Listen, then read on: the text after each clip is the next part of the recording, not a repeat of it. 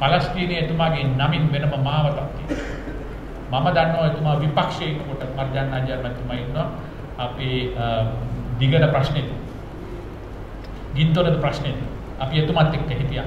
වහාම සම්බන්ධ වෙලා එතුමා එතකොට විපක්ෂයේ තමන්ගේ දේශපාලන සගයන්ට පොලිසියට අගමැතිතුමාට කතා කරලා එතුමා ලොකු කැක්කුමත් මේ ප්‍රශ්න විසඳන්න.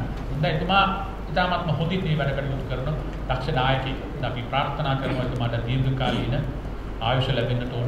මේ රටේ මිනිස්සු එකතු කරලා අපි අතර තියෙන වෙනස්කම් එහෙම තියාගෙන විවිධත්වය ආශිර්වාදයක් කරගත්තු හොඳ රටක් බිහි කිරීම සඳහා තවදුරටත් එතුමාගේ නායකත්වය මේ රටට වෙනදටත් වැඩිය අවශ්‍ය වෙලා තියෙනවා. වෙනදටත් වැඩිය අවශ්‍ය වෙලා තියෙනවා. එින්ද එතුමාගේ එතුමාට දීර්ඝායුෂ ලැබේවායි කියලා අපි අල්ලාහ් සුබ්හානහු තාලාගෙන් ප්‍රාර්ථනා කරනවා.